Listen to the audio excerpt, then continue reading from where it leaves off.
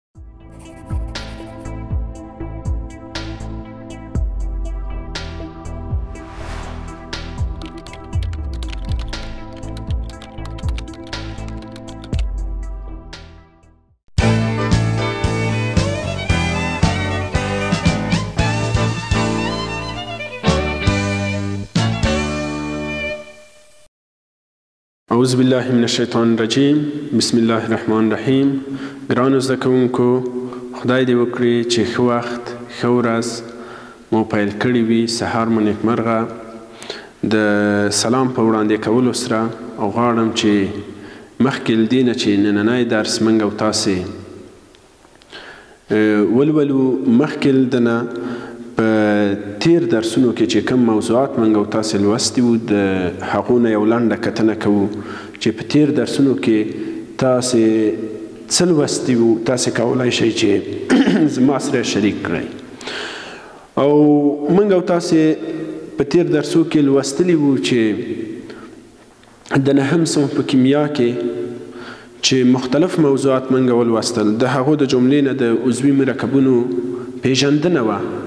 یا عضوي مرکبات وو چې عضوي مرکبونه ولوستل چې عضوي مرکبونه د څنه تشکیل کیږي د څنه لاس ته راځي او کم عناصر چې دی په هغو کې ډیر عنصرونه ډیر رول لري او خپل عضوي کیمیا تعریف هم وکړ د غیر عضوي او د عضوي مرکبونو ترمنځ هم توپیر ولوسته تجربې هم وکړې په عملی ډګر کې هم ولیده چې کوم عنصر په عضوي مرکبونو کې ډیر شتون لري نو نننی درس چې څنګه زمونږ دی نننی درس تاسو ته معلوم دی چې نننی دویم فصل یا څپرکی دی چې د دویم فصل د کیمیا مضمون کې منګ او تاسې د هایدروکاربنونه وایو چې هایدروکاربنونه یو د مهمه مرکبونو څخه دي چې موږ او تاسې اوس لولو. نو په دې فصل کې چې کوم موضوعات موږ او تاسې ته ډېر اړین دي چې هغه موږ او تاسې باید ډېر پرې تمرکز وکړو او ویې لولو هغه کوم شی دي؟ هغه د هایدروکاربنونو پېژندنه ده چې هایدروکاربنونه څه شی دي؟ په دویم قدم کې څه ډول دا ساختمان دغه لري ډول ساختمانونه لري څه رقم ته د دوی لیکل دي او بل چې د دوم نوم ایښودنه ده چې نوم ایښودنه د هایدروکاربنونه ده چې هایدروکاربنونه موږ کولای شو چې څه رقم ته نوم ایښودنه ورته وکړو څه رقم ته ونومو چې مثلا موږ ته یو فرمول راځي د هغه نوم څه دی دا باید موږ تاسو زده کړو بل چې د ایزومیری د یو بل موضوع ده چې ایزومیري ډیره په عضوي کیمیا کې یو ډیر مهم بحث دی چې هغه باندې موږ او تاسو باید تمرکز وکړو چې عضوي ایزومیرونه څه دي او داغه نه سراتیریګو د هایدروکاربنونو اهمیت دی ارزښت دی چې د منګه په ورځنی ژوند کې داغه نه څنګه منګه کولای شو ګټه واخلو نو د د په حق لبانې منګه او تاسو بحث لرو چې لومړی چې درس منګه تاسو شروع کوو د هایدروکاربنونو د پیژندنې نه درس سره شروع کوو او نور روسته د هغه نه چې دی دا نور موضوعات منګه ان شاء الله که ژوندۍ و پراتونکو ورځو کې پراتونکو ساعتو کې به منګه تاسو هغه هم ولولو نو اوس راځو تختې ته ګورئ تاسو مضمون د منګه عنوان د درس دی د درس عنوان هم دی هایدروکاربنونه دي د درس عنوان زمونږ او تاسو څه دي هایدروکاربنونه دي چې هایدروکاربنونه موضوع ده تاسو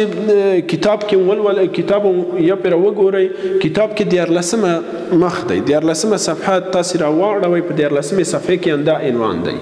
او هدف د دغه درس نظمنګ او تاسو څه دی ولې دا لولو؟ هدف زموږ او تاسې د دې درس نه د هایدروکاربنونو پېژندنه ده، د هغو نوم اېښودنه ده، چې دا یو ډېر مهم او با ارزښته په عضوي کیمیا کې مرکبونه دي د پېژندنه ده او موضوع چې موږ او تاسې نن چې پرې کار کوو د هایدروکاربنونو هایدروکاربنونه دي چې هایدروکاربنونه په مجموعي ډول یا په ټوله ییز ډول په دوه ډوله دي په دوه برخو باندې ویشل شوي دي که چیرته موږ دلته ولیکو چې هایدرو کاربونونه هایدروکاربونونه هغه مرکبات دي چې په ترکیب کې یې د اتوم هایدروجن او د هایدروجن هایدرو او د هایدروجن اتوم شتون ولري یعنی هایدروکاربنونه هغه مرکباتو ته منګه ویلی شي چې د هغو په تشکیل کې د کاربن او د هایدروجن عنصرونو یا د اتمونو شتون حتمی وي چې د دغه دوه عنصرو نه کم مرکبات چې د هایدروجن او د کاربن د عنصر نه تشکیل شوی وي هغه د هایدروکاربن په نام باندې یادېږي که خپله د هایدروکاربن کلیمه هایدروکاربن نونو کلیمه که چیرته منګه تجزیه کو هایدرو چې دی کومه کلیمه چې د هایدرو ده هایدرو د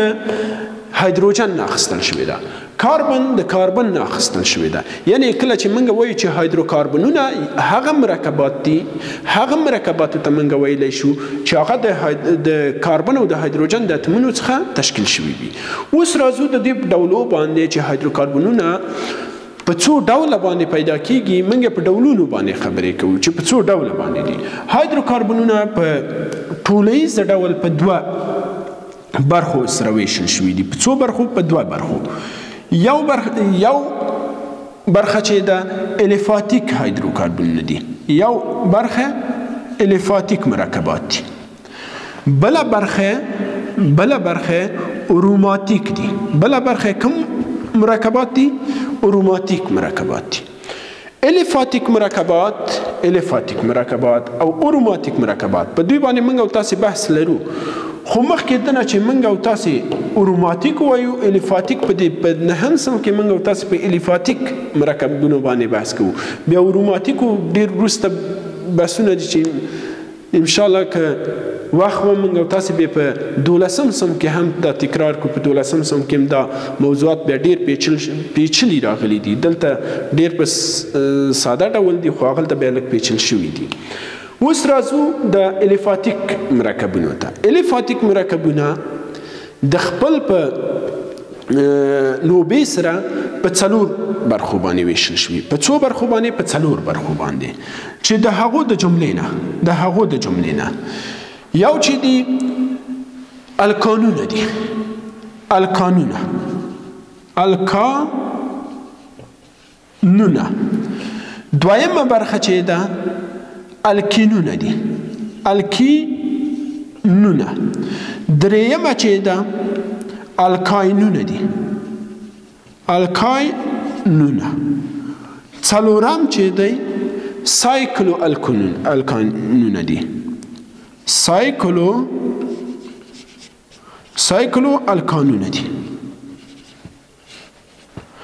یعنی موږ او تاسو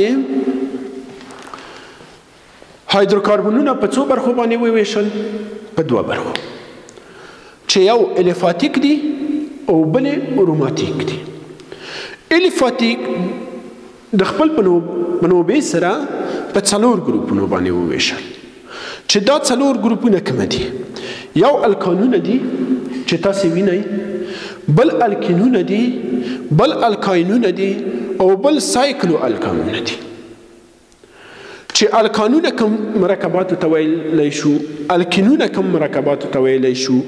الکاینونه کوم مرکبات ته ویل شو او سایکلو الکانونه د دوی په منځ کې توپیرونه څه دي د دوی په حق باندې موږ او تاسو هر یو باندې جدا جدا یو بحث لرو چې وبیلولو په آخر کې په نورو درسو کې اوس راځو خپل د هایدروکاربنونو ته چې هایدروکاربنونه کله چې مونږه تشریح کړل چې هایدروکاربنونه هغه مرکبات وو چې د کاربن او د هایدروجن د عنصرو څخه لاسته راغلي وي راغلی وي اوس راځو دلته یو مس د بیلګې په ډول باندې موږ یو مثال ورکو د الکانونو فکر وکړي مثلا یو مرکب موږ لیکو سی ایچ څلور سی ایچ څلور چې دي یعنی څلور اتمه هایدروجن دی او یو اتم څه دی کاربن دی که چېرته موږ مشرې فرمول د ده ولیکو، یو اتوم هایدروجن، بل اتوم هایدروجن، بل اتوم هایدروجن، بل اتوم هایدروجن.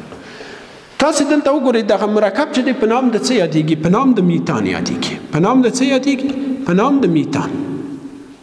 یا کې موږ په انګلیسي باندې لیکو میتان نو دغه میتان چې دی هغه مرکب دی یو د جملې د هایدروکاربنونو څخه دی چې د د په ترکیب کې یا د د په ساختمان کې دوه عنصره شتون لري چې یو هایدروجن دی بل څه دی کاربن یعنی څلور اتمه هایدروجن په کې دی او یو اتم یې څه دی کاربن دی خو ټول هغه مرکبات ټول هغه مرکبونه چې موږ او تاسې د هایدروکاربنونو په نام باندې اطلاق کوو یا هایدروکاربنونو موږ هغه ته وایو هغه مرکبات چې دي په ترکیب کې دوه عنصره شتون لري چې یا یا ام کاربن دی او ام هایدروجن دی یو کاربن بل هایدروجن یعنی دوه عنصر دي چې د دې عنصرونو پرته نور عنصر پکې موجود نه دي نو بیا موږ وروسته د دې نه چې مشتقات د هایدروکاربنونو وایو داسې داخلته بیا موږ بیا نور مثالونه ورکولی شو که چېرته موږ مثلا نوشته کړو چې سی اچ درې او اچ دلته خو بیا اکسیجن هم پکې شتون لري لکه میتانول یا میتایل الکول چې موږ وایو نو میتایل الکول یا میتانول چې دی دا مشتق دی هغه به موږ بیا وایو چې اکسیجن دار مشتق د هایدروکاربنونو دی اکسیجن دار مشتق د هایدروکاربنونو دی خو موږ چې کله هایدروکاربنونه وایو هایدروکاربنونه د کاربن او د هایدروجن نه پرته بل مرکب نشي کېدلی که چېرته بیا نور عنصرونه موږ او تاسې پکې لیدلی شو یا مثلا منګ او تاسو یو دغه لرو فکر وکړئ چې دلته یو بل مرکب نوشته کوم چې هغه کې بل عنصر شتون ولري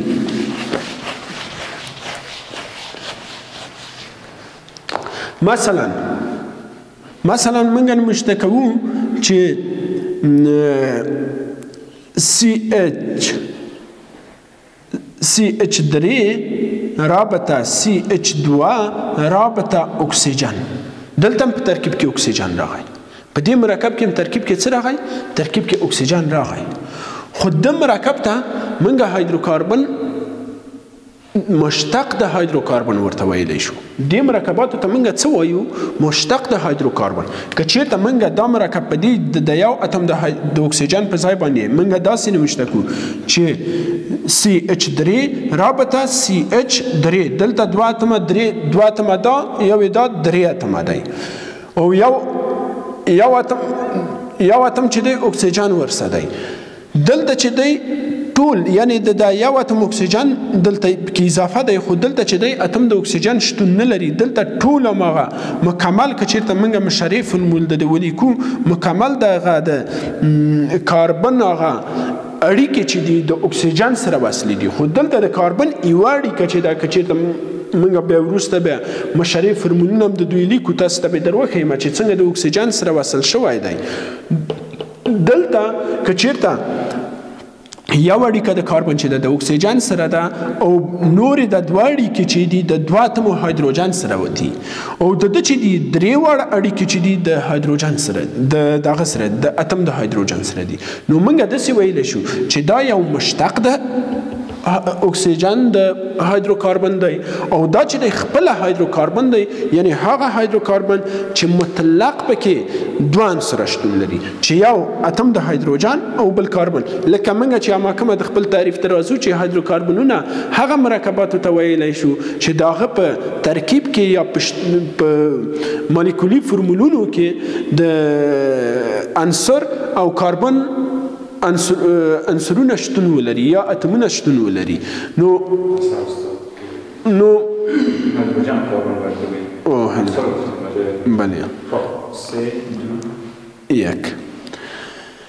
منګه هایدروکاربنونه د څه تعریفو چې هایدروکاربنونه هغه مرکبات دي هغه کیمیاوي مرکبونه دي چې په ترکیب کې